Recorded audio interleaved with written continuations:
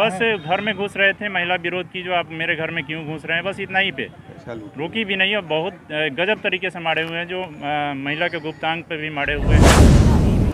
सब मेरे को मारने लगे और मारते मारते पूछ रहे कौन कौन दारू बनाता है तुम बता। मैं बोली मैं घर पे नहीं रहती मैं किसका नाम बताऊँ? मैं कहा मेरे मम्मी डेथ कर गई है। कौन मारा? पुलिस मारा? हाँ पुलिस वाले कौन थाना मारा? सब सिवाई पट्टी वाला थाना हमारा कर। क्या स्थिति है? स्थिति बहुत गंभीर है। इनको प्राइवेट पार्ट्स में नाजुक चोट लगी हुई है। कई जगह फ्रैक्चर हुआ पड़ा है।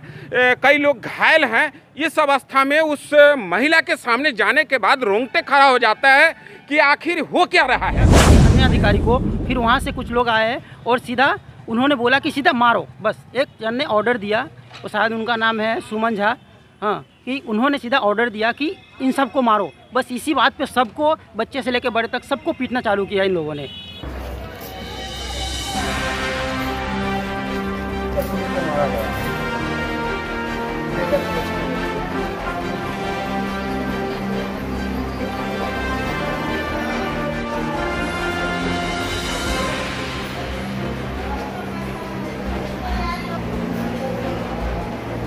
घर पे रहती नहीं हूँ। चाहिए तो मेरा प्लेन का टिकट है वो लीजिए। मेरा आधार कार्ड लीजिए इधर का है नहीं मेरा आधार कार्ड पैन कार्ड जो देखना है सब लीजिए पूरा प्रूफ दूँगी मैं।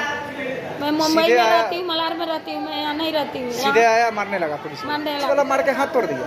हाथ तोड़ दिया हाथ में टाका लगा है फाड़ दिया है हाथ टाका लगा है तो उसको ऊपर से कट के मेरा पूरा साड़ी साया पलाज सब खून से बोता हुआ था। कै गोड़ा के मारा पुलिस वाला? आपका घर के आदमी पुलिस मेरे घर में मेरे बहन की छोटी बहन मेहमान आए थे मेरे घर पे न्योता लेके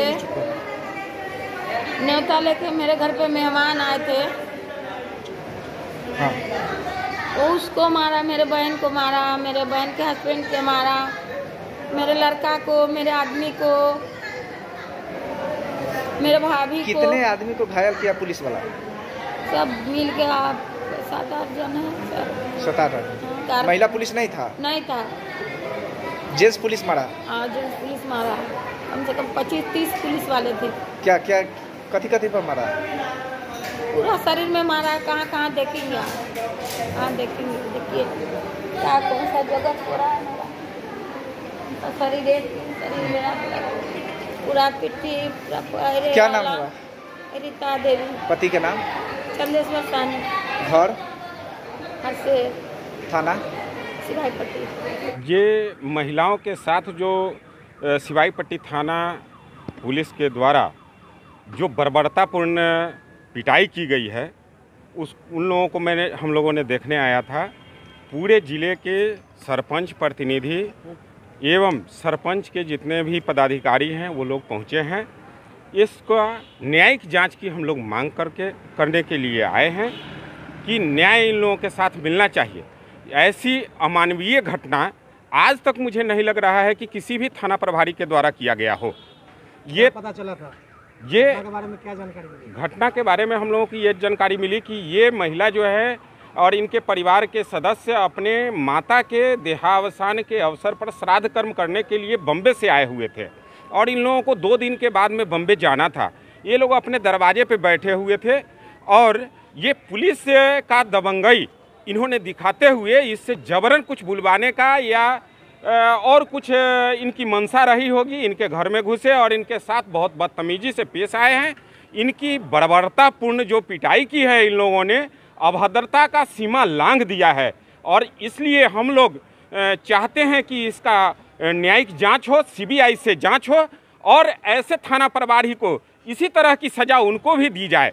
इनको मालूम नहीं है कि इस व्यवस्था में यहाँ एसपी साहब आईजी साहब सभी लोग टाइट हैं फिर भी इनके द्वारा ऐसे ऐसे काम किए जा रहे हैं। अभी केस भी किया गया है ऐसे निर्दोष लोगों पर और अ, हमारे सरपंच को समिति को सबको फंसाया जा रहा है जनप्रतिनिधि को।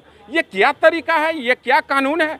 मुझे लगता है बिहार में ये जंगल राज नहीं महाजंगल राज के महाजंगल राज के दरोगा ये पहुँचे हुए हैं सिवाई पट्टी थाना में। ये अंधे कानून के राज में हम लोग न्यायिक जाँच की मांग करते हैं और मुझे पूर्ण विश्वास है कि एसपी साहब और आईजी साहब द्वारा इसका दूध के दूध और पानी का पानी किया जाएगा अविलंब। क्या परिचय होगा मनोज कुमार सिंह जिला अध्यक्ष पंच सरपंच संघ बिहार प्रदेश मुजफ्फरपुर। आपको दिखाता है सच का आईना।